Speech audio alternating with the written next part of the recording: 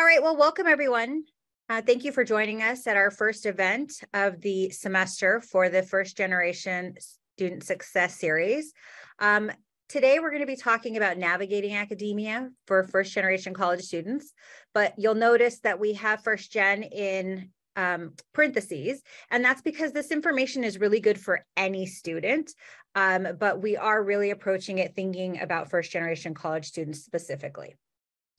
So today um, on the line, uh, myself, Dr. Carla Marquez Lewis, I am a distinguished lecturer and academic director for the psychology program here at CUNY SPS. And we also have on the line Elizabeth Alsop. I'm the assistant professor and academic director of communication and media at SPS.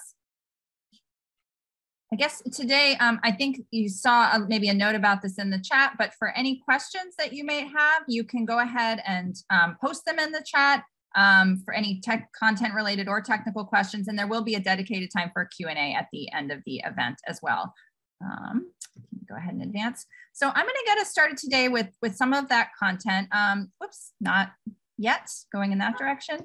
Um, one of the things that we like to start out with is to give students um, a sense of why this event, why an event about navigating academia um, at all. I think our sort of primary impetus for starting this series was to do what we think of as demystifying the hidden curriculum of higher education. Higher ed is not intuitive, um, and it's especially not intuitive um, for many students who, um, you know, are the first in their families to go to college.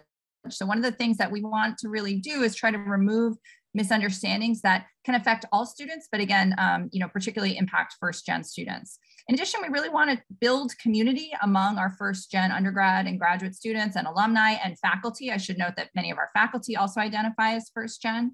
Um, we also want to normalize asking questions. That is absolutely how we learn um, not only in our courses, but really at every stage of, of our journey, our academic journey. And it's, um, it's actually a skill that you want to build. And so there's never any, not only is there no shame in asking questions, it's, it's something that, that one should be doing um, uh, during your time um, at SPS and, and at any other academic institutions you might find yourself at we want to, you know, I think the larger kind of goal here is really to empower you, to empower all students in their academic journey.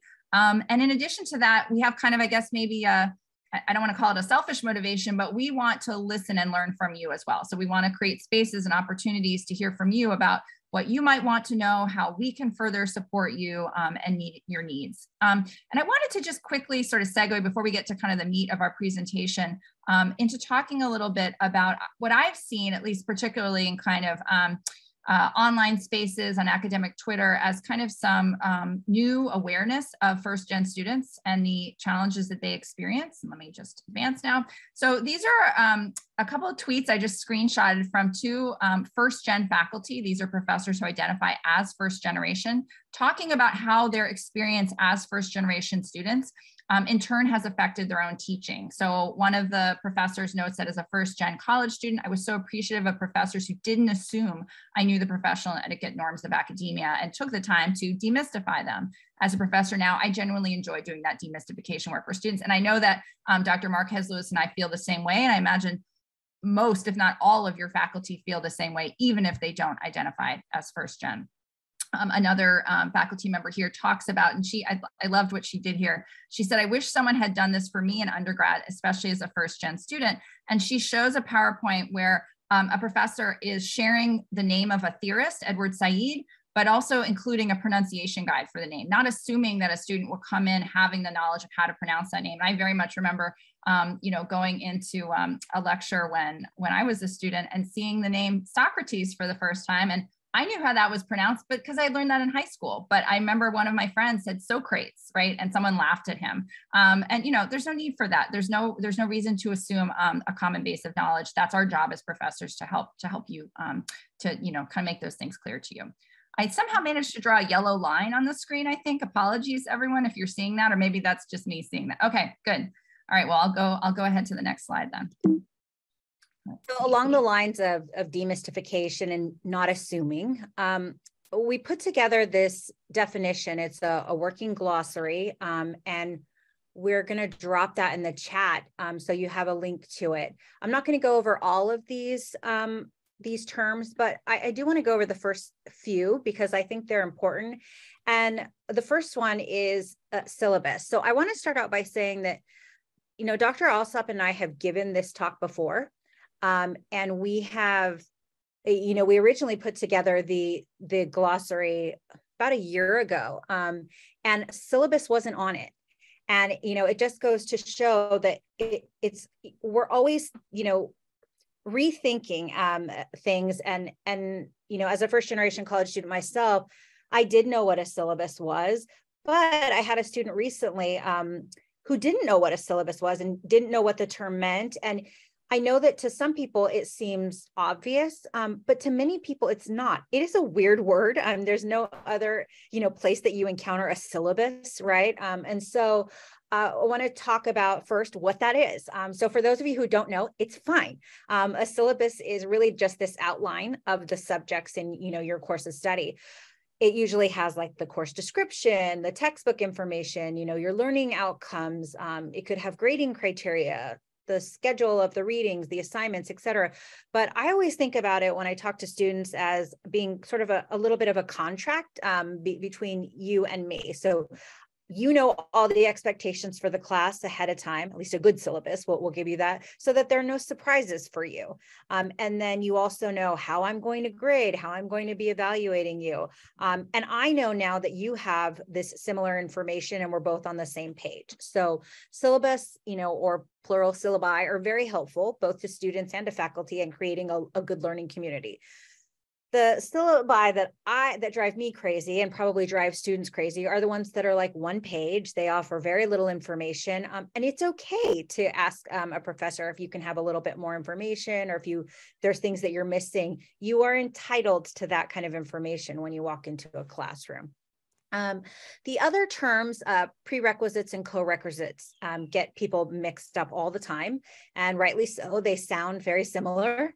And a prerequisite is a course that you need to complete before you register for another class. Um, and then the co-requisite are courses that you can take together or that should be taken together. So those are two kind of tricky terms. And then the last one is office hours. Um, here at SPS, we call them student hours, or sometimes you'll hear people um, refer to them as student hours. They're really the same thing. Um, and it's really time that you, as a student, um, have access to your professor to ask them questions, to clarify. And we'll talk more about office hours or student hours. You're going to see that pop up a lot because that is time that you get to spend with your professor and that you have access to them to gain the information that you need to be successful in your classes. Um, there are also some other terms um, that you can see in the glossary. I won't spend you know too much time going over them, but they really are about different departments and what what those terms mean. Um, different systems that are very specific to CUNY, um, and then some of these other weird terms that you might see in some different cases: Z2C, uh, ZTC, OER, student evals, all of that. So um, please take a look at that glossary, and um, we can circle back to some of that later in the Q and A. Great.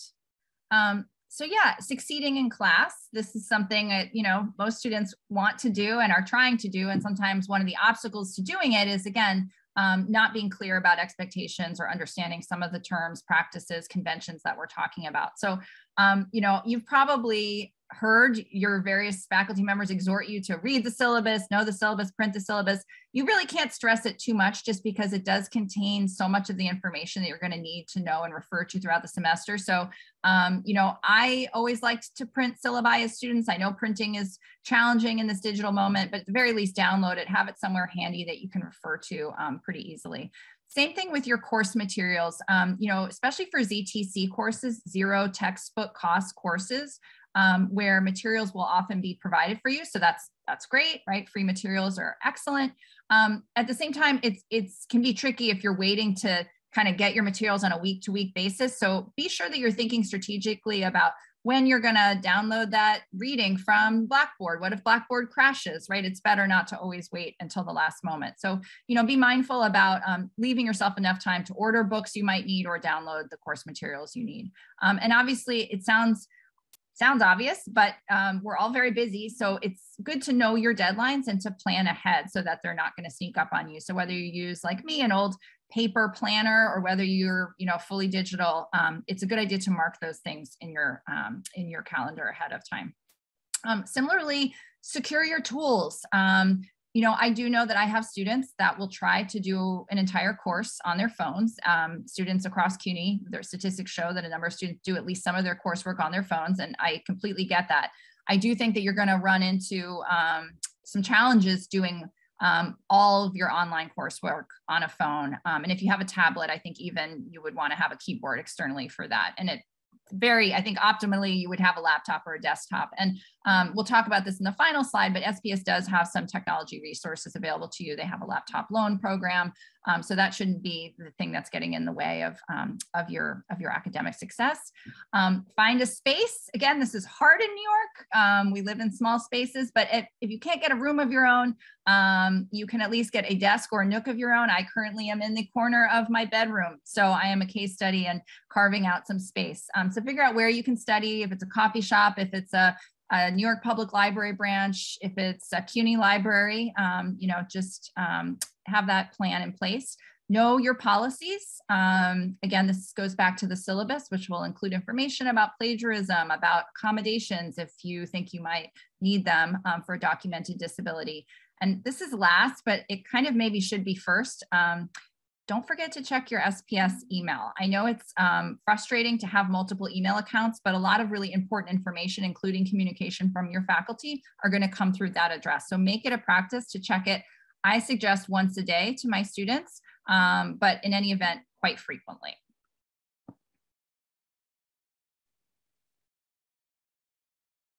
Oh, I think you're on mute, Carla. Yeah.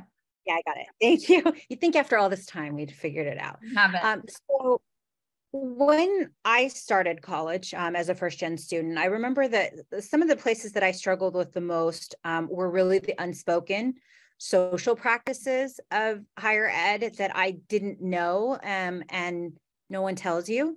And so I, I want to talk about a few of the things that students may not know. Um, and one of them has to do with titles. Um, what do you call your professor? Um, so I would often refer to them by the title professor just because I I didn't know what they wanted to be called and it seemed like a pretty neutral term. Um, and then every now and then some people would say, oh, just call me XYZ, and then that would clue me in. But even you know professors sometimes forget to tell students um, what to call them and they they forget that students don't know otherwise. So i always try uh, to say on the first day um, call me xyz so i have a very long um, last name because it's hyphenated marquez lewis. And so i let students know you can call me dr m you can call me dr ml you can call me dr lewis dr marquez professor any of them are fine. But if you don't otherwise know, um, one of the things to do is ask. Um, you can ask your professor, you know, what should I call you? It's perfectly legitimate um, for you to do that.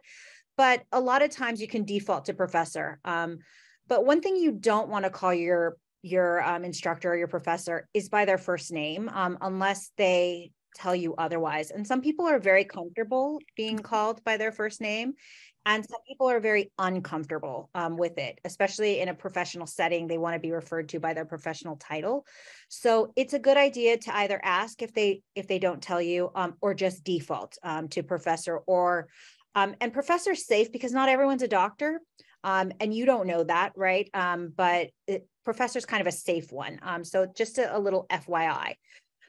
in terms of email etiquette, you know, I think this has become even more challenging in this day and age because we're so used to sending text messages to friends. We're so used to being very casual in our communication. And you really do need to sort of flip a switch um, in academia or in any professional setting to really solid um, email etiquette. You open with a salutation, right? Um, dear doctor, so and so, or, or, you know, dear professor, or whatever it happens to be. Then you have your message and then your proper sign off. Sincerely best best wishes and your name. Um, preferably your class um, as well. Um, i get a lot of students send me messages and then i have to send which, which class is this? Um, especially in the first week or two right? Um, until your professors know you.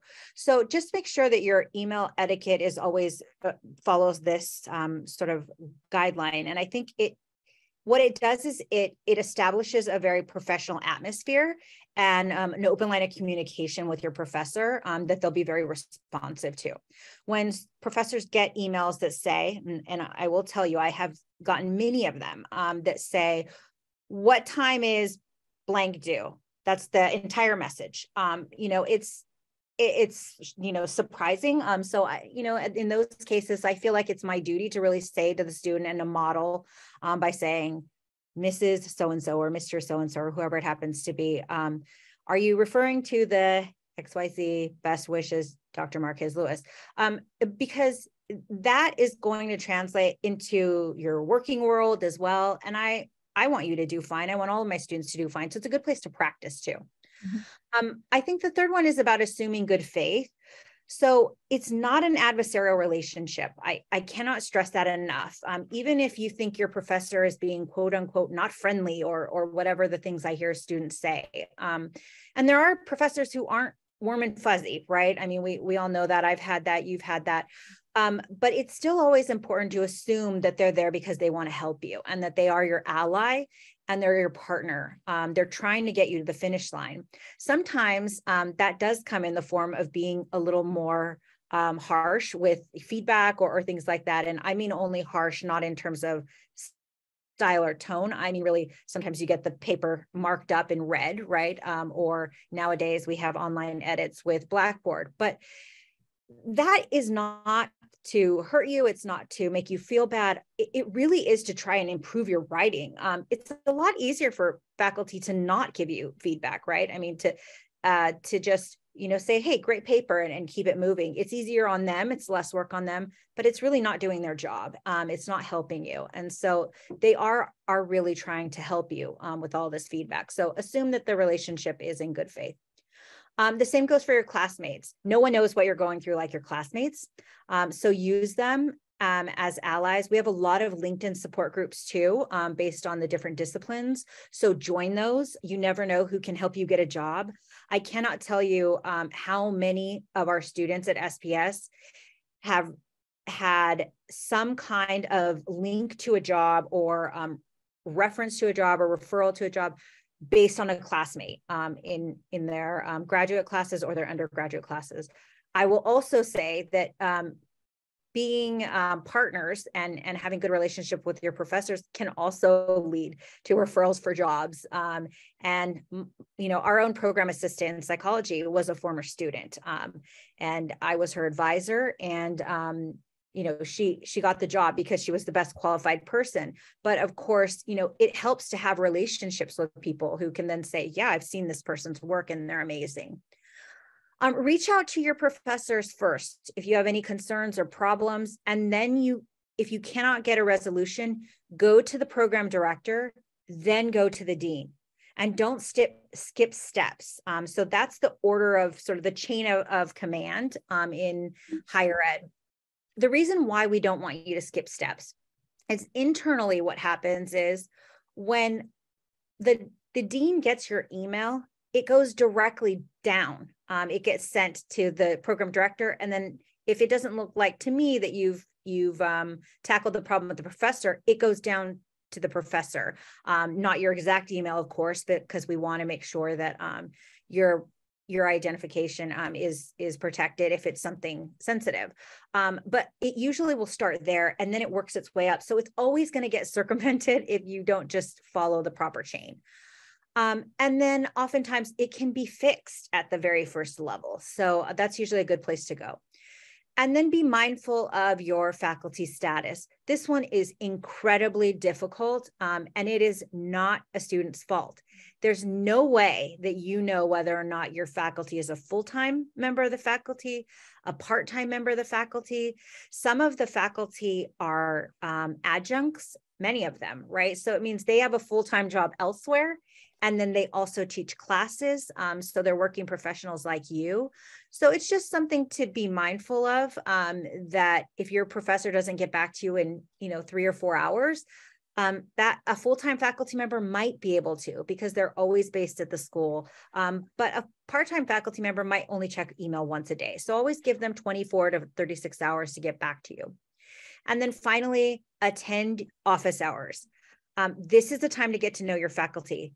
I sit in my office hours, and I'm sure Dr. Alsop has had the same experience, um, you know, just grading papers or hoping and praying and wishing that a student will come by. Uh, and I get very excited when a student clicks on that button and they're in my Zoom room. And even if they don't have a question about class. Um, so sometimes a student will say, and I love these. I just wanted to pop in at the beginning and introduce myself. Um, my name is blah, blah, blah, and here's why I'm taking the class. And then we just chit chat for a little while. And it's a really great way to get to know the student. Now we fast forward, um, you know, a year and they reach out to me and say, Can you write me a letter of recommendation for grad school? Um, you bet I can write a letter. And not just because I I want to write a letter for you, but I have a lot say about you because we've had lots of conversations and I can write about those in your letter. If I only see you in class, you never come to office hours, and I only read your discussion board posts, it's harder for me to do that um, for you because there's there's such a limited amount of information I have. So get to know your faculty. We want to know you. Um, we really do. And just to add on to what Dr. Marquez Lewis is saying, I think what she said, I, I, remember as a student having a lot of anxiety about the prospect of office hours. What would I say? Did I have to have a good question? Did I have to have some like brilliant insight into the material? And what she just said is really the only script you need. You can go click into the office hours and say, Hi, I'm so and so. I just wanted to stop by and introduce myself. And the conversation will flow from there. Your professor will ask you questions. They'll want to know more about your interests, what your goals are after leaving the school. Um, you know, I've had students come by, I teach mostly film studies classes and just say, hi, I just wanted to see, I, you know, I just saw this movie last week and I wanted to get your opinion on it. So it doesn't even need to be germane to the topic that you were discussing in class that week. Um, anything that really, we love to talk about our disciplines, right? That's why we do this. So um, again, as, as Dr. Marquez Lewis said, we're really thrilled. Um, you know, that's one of our favorite parts of our job, I think. And I'll advance the slides here. Oh, the fun part, time management and self-care. Um, you know, our students, it, it, goes without saying, I'll say it anyway, um, you're all incredibly busy. Most of you are working at least part-time. Many of you, the majority are working full-time. Um, so you already know about time management. So I'm probably not going to tell you anything you don't know already. Um, and I know that, you know, in orientation, if you took um, that at SPS, you probably heard um, a lot of great advice and, and intel about how to manage your time. This is just some sort of anecdote data that we've gathered um, ourselves and, and some sort of best practices.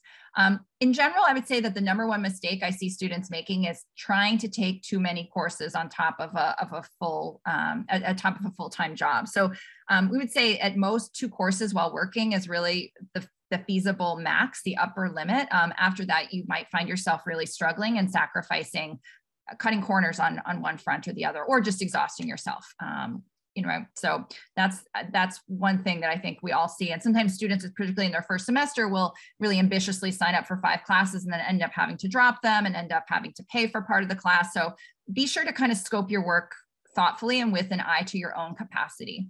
Um, i already mentioned calendars and planners. Everyone's got a different sort of system. Find what works for you experiment. If you're an old fashioned list maker lean into that. If you like a particular app go for it um, speaking of technology, I'm a big proponent of using technology kind of jujitsu like against itself. So um, use technology to limit your interaction with technology if it's a distraction for you. So personally, I use this program called Mac Freedom that actually turns off my access to the internet for certain periods of time. So I'll set it for 45 minutes, for an hour. I'll write, and then I'll reward myself by letting myself check email, go on Twitter, you know, whatever. Um, there are other apps. One is Pomodoro that sets like a little 25 minute clock for you, Pomodoro method. Some people swear by it. There's a lot of other time management tools. For me, the big takeaway um, when I discovered these was like, I needed to take this question out of the willpower arena because it wasn't, I wasn't strong enough, quote unquote, to stop myself from going online when I needed to be sort of on task. And I don't think any of us are. I think, you know, we're kind of addicted to these these little machines. So find, um, you know, don't be afraid, I guess, to use to use a, a technological tool to help you if you need if you need that um, support. Do protect your time. Treat your school work like you know you would your work for your job, right? So zealously guarded. If that means putting a meeting, a weekly recurring meeting on your calendar for a certain time of the weeks where you know you like to do your work, do that, right? And tell your family I am not available right now to the best of your ability.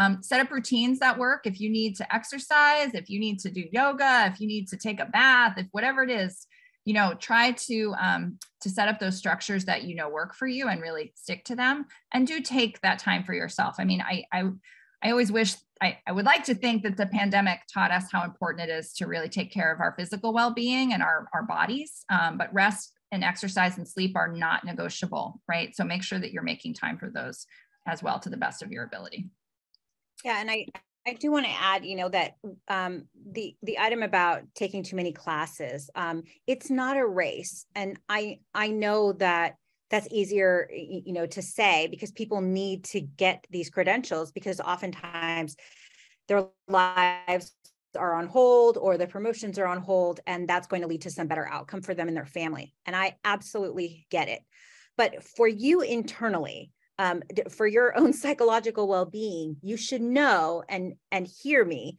that you are not on anybody else's clock other than your own. Um, so you know give yourself some grace. If you can't take four classes that's okay. Most people cannot. Um, you know we use the rule at sps for undergrad classes 9 to 12 hours per class per week. But of course that fluctuates depending on the class and the person and how you're grasping the material graduate classes 12 to 15 hours per course per week. Imagine if you're taking four classes as an undergraduate, that is 36 to 48 hours of coursework. If you have a full time job, if you have children, if you are a caregiver, if you just have a hobby, I mean, that's almost impossible to do. Mm-hmm. Um, so don't let this idea that you have in your head i hear students say all the time i'm so behind. And it's because they count from the time that they four years after they graduated high school they're supposed to be here. You're only supposed to be where you're supposed to be right? Um, wherever you are is where you're supposed to be i guess is what i'm trying to say. So um, i didn't take four years to do my undergrad. I took six years um, kind of cruised my way through. Um, but i will tell you that i absorbed a lot um, along the way I didn't take four years for my PhD. That was another lifetime ago. I worked the entire way through. Um, so it took me a lot longer. And the truth is that it takes most people longer. That data that you see, that four years uh, to graduate. Uh, to a undergraduate degree and four years to a phd after that those are long gone um, people are working now and um, when you're working it takes you longer so you know don't be apologetic and um, just do it at the pace that is right for you and, your life and your schedule. And and the last thing I'll say is that the item about taking time for yourself, there is plenty of research that shows that you cannot sit in one place for two hours and just read and focus and study. Most people learn better in 15 minute increments. So 15 minutes and you take a break, even if it's to stretch and yawn and then you're back at it. Get a drink of water, then come sit back down. But you do need breaks. Um, so allow yourself that. So another good tool is to create a plan. Um, and this is about accessing resources as well. So you each have an academic um, academic advisor that is very unique to SPS. Um, so utilize them. Utilize your program assistants in your individual majors, whoever they happen to be. Um, sit down, do a little planner sheet even if it's going to change um, figure out what, what is a, a, way that you might be able to work through your program um, and your major. Which classes are you going to take when um, so that you can better plan your your way through. Um, stack your credentials and what we mean is try to get the most bang for your buck. If you're already graduating and i'll use psychology because it's what i know um, if you're graduating with a degree in psychology and you want to go into IO psychology, industrial organizational, for example, minor in business, right? It's going to give you that nice um, you know this these two different credentials and you're not going to have to use any more uh, credits. You're not going to have to stay any longer. You just use some of your your general elective credits and there's a pool of those credits that you have to just take a bunch of classes. Take a few of those credits and concentrate them in one area and walk away with another credential. So get really crafty, and your academic advisor can help you with that, or we can help you with that in the program. So just reach out and then work backwards from your career goals. So, where is it that you want to land ultimately? And now we're going to make a plan by working our way backwards. And one of the ways that you can do that is think about do you want to go to graduate school? Not everyone has to, so you shouldn't feel pressured to do that. If it is what you need um, based on where you want to go, you want to get a master's degree, you want to get a PhD, whatever, you need to start thinking about what courses you need to take what exams do you need to take? What kind of recommendation letters? Um, and what kinds of tools do you have access to? At sps um, there is a group of advisors or sorry a group of um, directors of different programs myself dr Alsop, a, a bunch of different um, professors who've gotten together and put together a graduate school preparation series. Um, so there's preparing for graduate school applying to graduate school writing personal statements and cvs and some of you might be saying i don't even know what a cv is. And that's okay. Um, this academic resume or this cv we'll show you how to write them. So keep an eye out for different tools that might help you um, work your way forward after you've worked your way backwards um, toward your plan. The other thing is the emotional piece. And this is really the part that almost no one talks about um, with higher education. And, you know, this was a very difficult piece for me a lot of first generation college students we talk to, this is the piece that they really hone in on. And um, in terms of the feedback that we've received so far, this is the thing that's resonated um, with them a lot, which is this emotional piece of, of academia that people struggle with. Um, one of those items is the imposter syndrome. So feeling like you're really not smart enough to be there. Everybody in your class is smarter than you. You're really an imposter. People just haven't figured out that you're faking it. Um, that sense of almost not being good enough to be where you are, not fitting in. I want to say that higher education by design is not for everyone. In other words, it's not everyone can act, can it can succeed, right? But it is not built for everyone. Um, a lot of times if you are first generation students if you are a minority student whatever minority group that happens to be uh, higher education doesn't feel comfortable um, to you. And so of course you're going to feel um, that you don't fit in. Um, you don't fit in right? And so it's really our problem in higher education to figure out how to fix that not yours. Um, but just know that you're not alone and that because you feel that way doesn't mean it's true it just means that you're experiencing, you're reacting to a faulty system um, that is being placed upon you. The other thing to sort of be aware of is this idea of code switching. And um, it really originated out of linguistics, this idea that people used to switch between languages, but it's sort of um, it, it's really expanded to think about the ways in which people behave um, in certain environments. And we see it a lot in academia where people feel like they have to kind of switch who they are.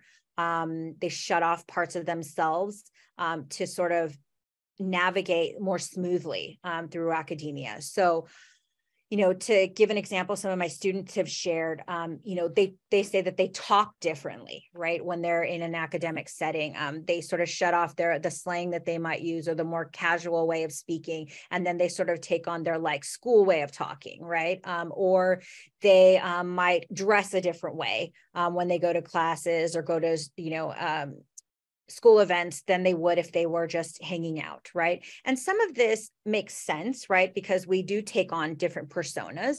Um, and in psychology, we call it schemas, right? We try on different schemas for different situations. But I think code switching is a very exhaustive um, experience for people. And the problem becomes when people feel forced to do it. They feel like they're not going to fit in that they they need to sort of lose this part of themselves to to fit into academia. Just again know that it is a real thing um, that exhaustion you're feeling by being on when you're in an academic setting it's real. And um, and you're not alone. You're not alone.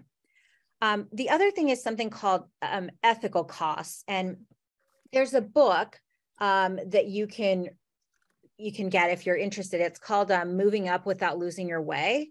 Um, the ethical costs of upward mobility, and it's by Jennifer Morton. And she actually was a professor at CUNY for a while, um, and she really talked a lot about the experience that first generation students experience, um, the cost that it takes for that upward mobility, and there are costs.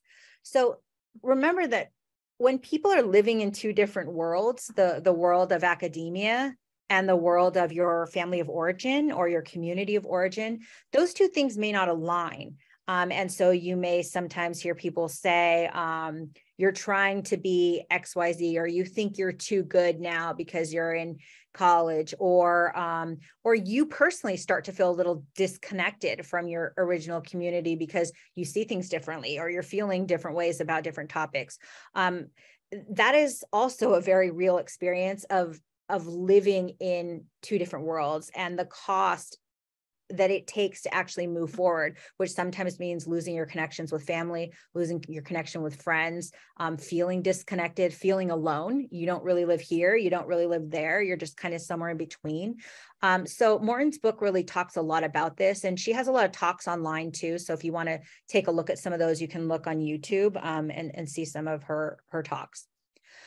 Um, the last couple things I'll mention are um, it's always important to understand that there are intersecting identities that we all have.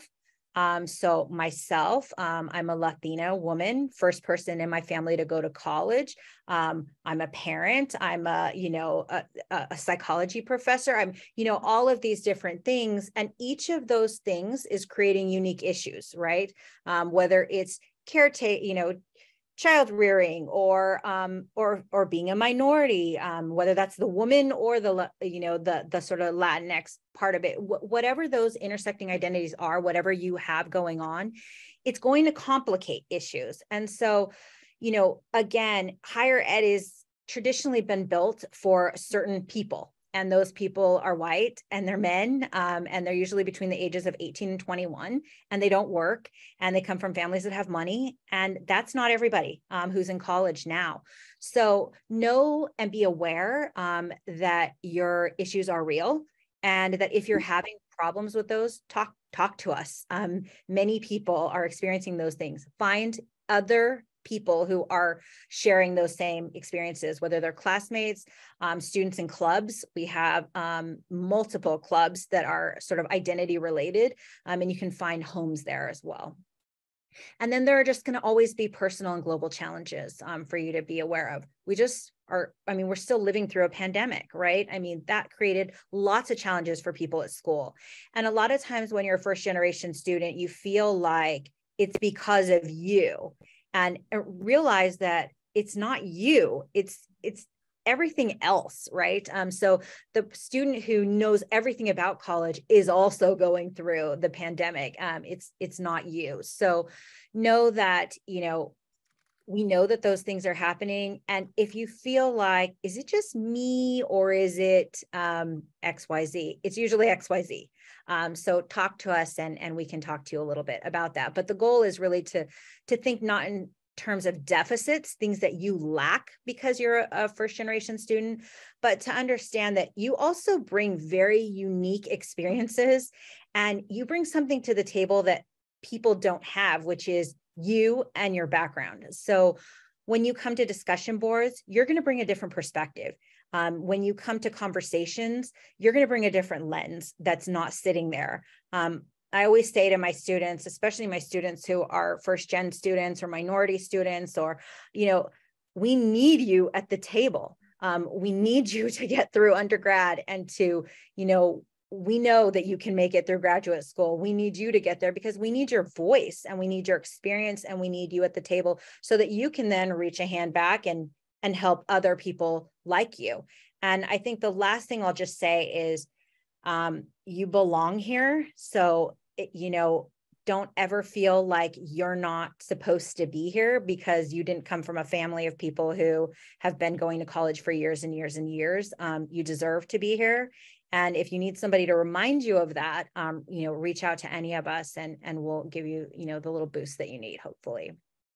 Wow. I just want to plus one everything Dr. Marquez Lewis said and just add one thing, which is, you know, um, she said this so much better than than I could. But in addition to the psychological cost, the ethical cost, all of the sort of exhaustion that she talked about that comes from sometimes trying to conform to a system that wasn't made for you, um, you know, and really, I, I, do often want to encourage my students to um, really try to let some of those preconceived notions about what an what a student should look like or sound like, particularly in their writing. I teach a lot of writing intensive courses. And what I found is that there are often academic costs for students who come in thinking, um, well, I can't write. I'm not a good writer. I'm a bad writer. Um, because they're, they have some sort of like specter or um, unfounded idea in their head about what good writing is. And what I've found is that often once students can kind of maybe like sweep away some of that imposter syndrome and those that they can really access their own voice, a more forceful voice, a more authentic voice, a more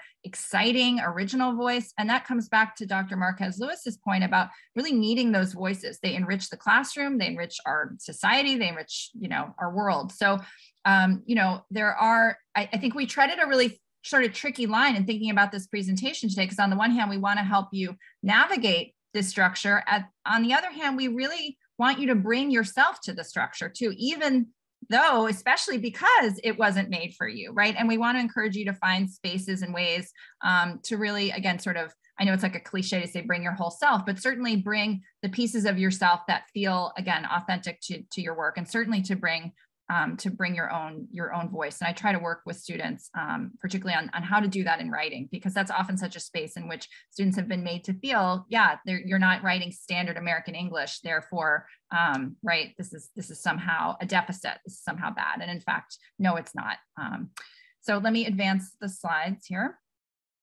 Okay, I think this is me. Um, student services, resources, all of these amazing things. I'm not going to go into too much detail because these all live on our website, lots and lots of detail about um, each of these services. But we just wanted to quickly highlight the kind of full complement of, um, of free uh, resources that exist for you to take advantage of. Um, I started, I think I probably put the writing fellows up here first because I think there's such a sort of singular um, uh, kind of support that we offer at the school. Writing Fellows are um, graduate students at the CUNY Graduate Center who have been trained specifically um, in writing pedagogy and the teaching of writing um, to work with undergraduate students at CUNY. So most of the CUNY campuses have writing fellows. Our writing fellows are wonderful um, and you can make an appointment to, to, sort of work with them synchronously or asynchronously um, and they'll give you feedback on your paper at any stage of your writing process. So don't hesitate to reach out to them. Um, they are, I, I, think, really a, a kind of gem um, in the CUNY system. We also have tutoring services in a range of topics. we have career services I, I always tell students it's never too early to just get in touch with them, right? Particularly if you're interested in things like internships, they can often hook you up. They send out great email roundups of various opportunities. So make sure you're on their, their list serve. Um, one thing that I think is maybe particularly germane to our discussion, particularly in the last slide, um, is our mental health counseling. We have a wonderful head counselor, Dr. Erin Jeanette, who actually did a program with us last year on imposter syndrome. Um, and she, I think, has a, a team of folks, or at least a team of one who is helping her to provide um, free confidential consultations to students and, and if necessary referrals. Um, so you don't need to have you know a mental health crisis to make an appointment to talk to Dr. Jeanette and just say, hey, I'm really struggling in some of my classes. I'm feeling like I don't belong or whatever it is that, that you find yourself contending with. Um, I think it is, in, you know, um, again, it's really wonderful that we have that at our school. We have, as I mentioned before, um, a disability services office who works with um, our students and our programs to support students who need accommodations. We have a laptop loan program, um, we, which is great. And I've actually personally helped get laptops mailed to students. Um, I've seen it happen and it's kind of magical and great. We have a reference librarian um, at the Baruch Library. We have a designated librarian that works with SPS students. The Baruch Library is like our library, um, Joseph Hartnett, um, and he's really helpful. Um, and again, I'm, I'm always happy to talk to students about library resources. I'm sure all your faculty are so thrilled when students want to talk about the library. So if you ever are like, I don't know how to use a library, this seems really confusing. I don't understand how to access databases your faculty will help you, writing fellows will help you, uh, academics love to talk about libraries. Um, we of course have financial aid and scholarships offices and we, we did a great program with those folks last year as well about how to kind of finance and fund your education. Um, and I'll, I'll, let Dr. Marquez Lewis talk in a minute about the first gen student success scholarship before we end.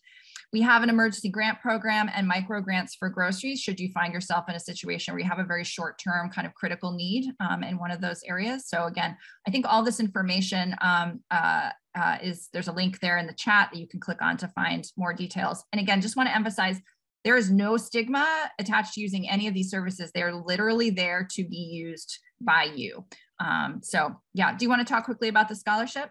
Yeah, and and remember, like you know, a lot of times you you pay um in your your student fees for us to have all of these resources. So if you don't use them, you're sort of leaving like freebies kind of on the table. Um, the first generation student success scholarship is a scholarship that we started um, for students like you and mine.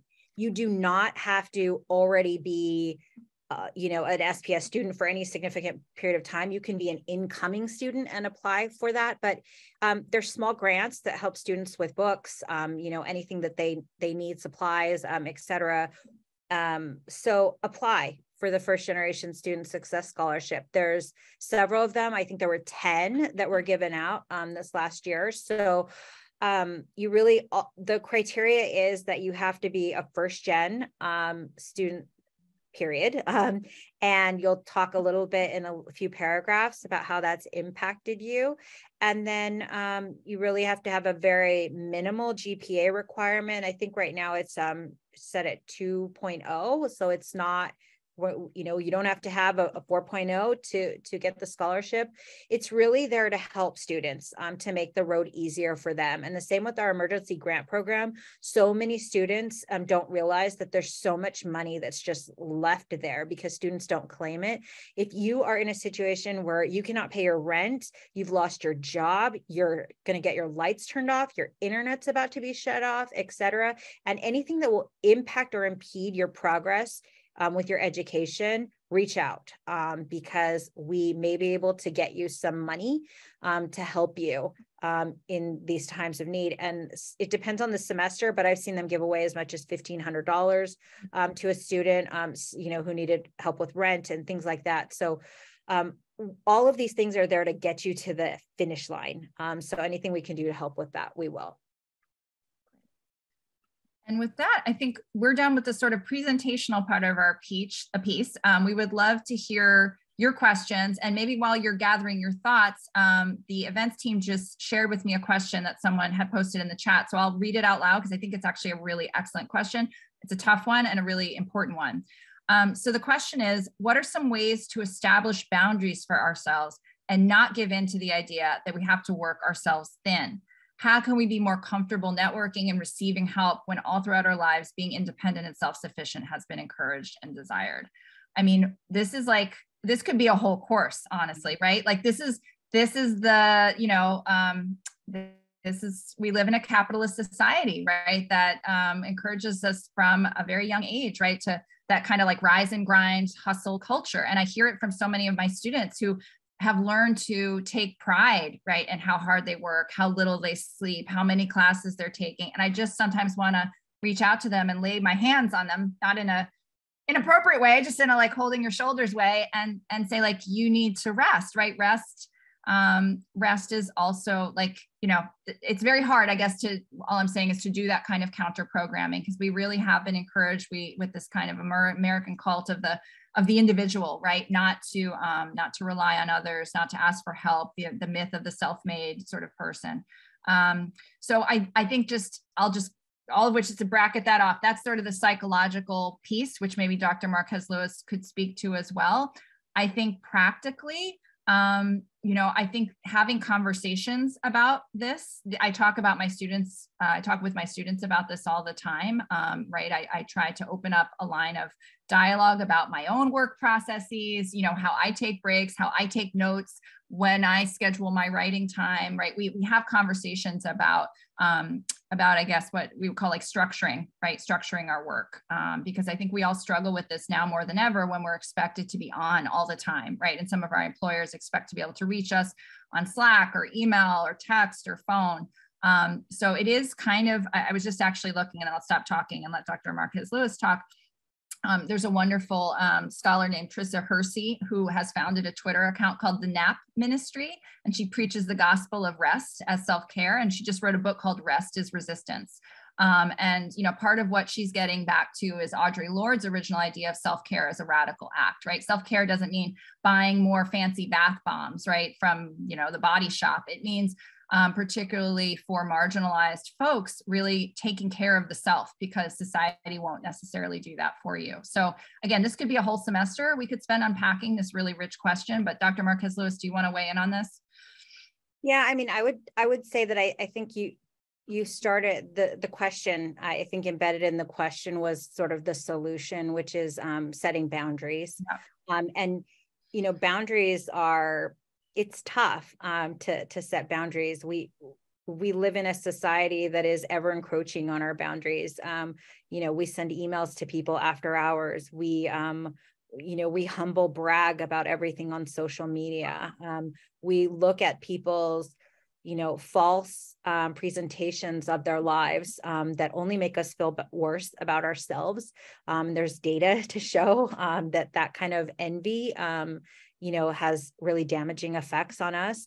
We read articles i mean even as academics where everything and and students read them as well that it looks perfect right? And then the intimidation um, falls and you think oh my gosh i need to stay up all night and write like that. Um, those articles that you're seeing, those Facebook posts, those Instagram posts, all of that is fake. Um, you know, it takes years of processing, um, revisions, and rewriting till you actually see something in print, um, whether it's an article, a book, etc. Those people don't magically wake up and write like that. Um, people don't magically wake up and you know have a baby and have a perfect body. Uh, you know, people don't magically wake up and and have you know whatever you want to fill in. Um, even the people who make it look easy, I guarantee you they are swimming like crazy um, just under the surface of, of the water. Um, so I think one of the things is to not believe everything that you see. Um, it's not what you think it is. It never is. Um, everybody is struggling with something. Everybody is having a hard time, um, especially in the, this pandemic. If that showed us nothing, is that everybody's struggling um, with something at any given time. So it's not you. Um, they're struggling too. Um, they just make it look a little easier, um, or they've curated um, their themselves before they presented it. Um, so don't use other people. In psychology, we call it, um, you know, social comparisons. Um, and the idea is that if you compare up, you're always going to feel worse about yourself. Um, and if you compare down, um, you'll always feel a little bit better. So I always tell students, you know, don't forget that you're doing a lot better than a lot of people too. Um, it will help sort of ground you a little bit and remind you that um, for a lot of people, I, I, you know, I said this once at a graduation ceremony, you are the upward comparison. Um, and so I think all of that is to say that you know again don't don't believe everything that you see because then it'll allow you to allow yourself more grace um, to make mistakes um, to to give yourself an out to rest to take a nap. Um, i love the idea of naps um, to um, to take a, a, five minute break. And also i think the the last piece is to vocalize that. So um, you know talking about resistance um you know i i hear some you know i have some family members who would you know sit around and talk a lot about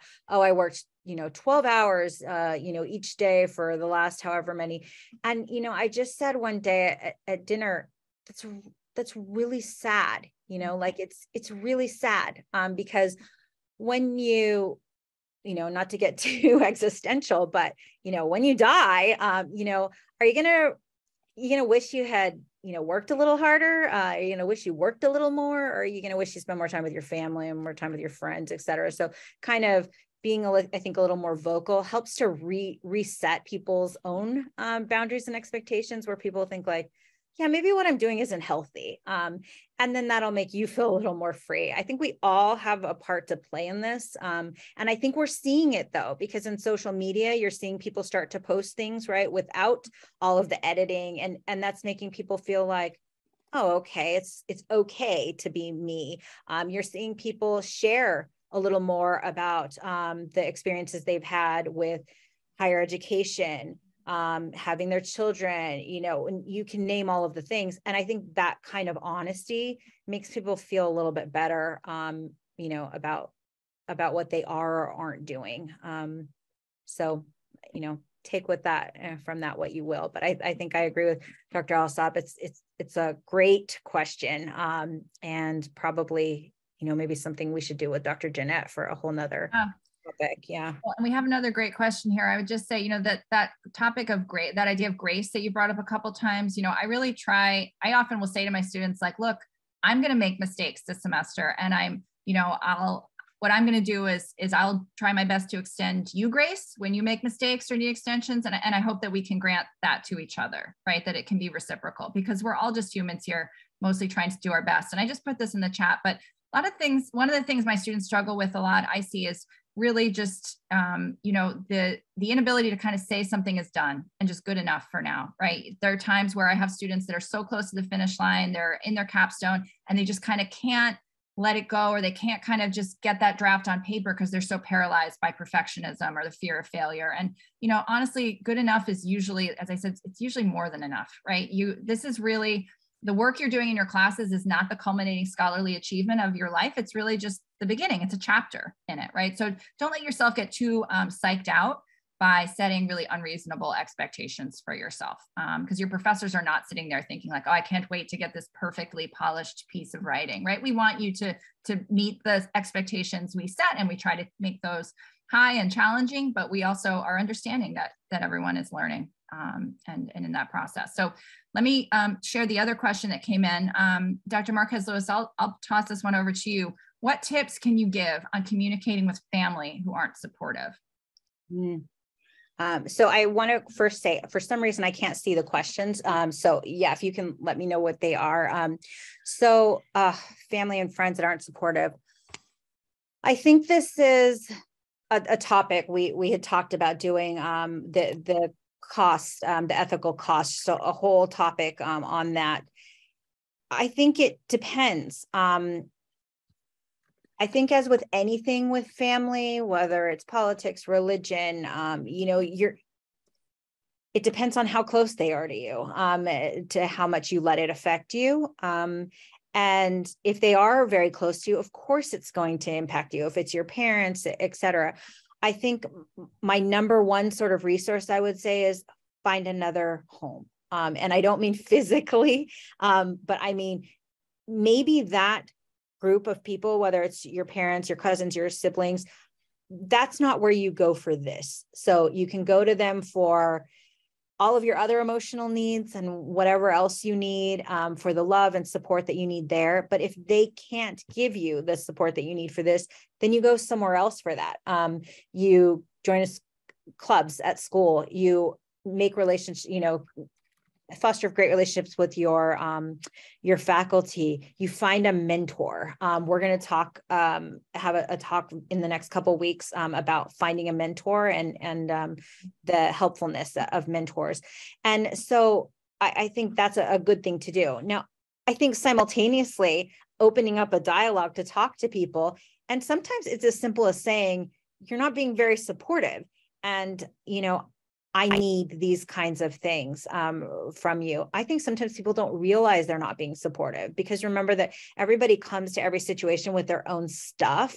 Um, and so sometimes you, you know, you don't even realize you're critiquing people or that you're making people feel bad or that you're not being supportive. It could come from your own insecurities. And I think sometimes it does come from that, um, where people feel a little insecure because they didn't achieve the things that you're working on. I will say that there's a flip side to that too, which is that when you get so much support um, and everyone is resting all their hopes and dreams on you, and that can be equally um, scary and, you know, um, pressure filled for students. So, you know, I think there's, you know, a, a lot that can be done, um, but I think it depends a little bit on who the who the people are um, for the relationship but utilize the other things that you have. Um, you know it's good to have a toolbox no matter what it is that you're doing or working on. And you know everyone can't be everything for you so you know spread it around. That's great advice. Um, i think we're just about at time so i want to ask if anyone else if there are other questions things that have been on your mind that you didn't get a chance to ask i don't know if folks can come off of mute, but you're absolutely welcome to put a question in the chat. Um, or if you can come off mute, feel free to do that.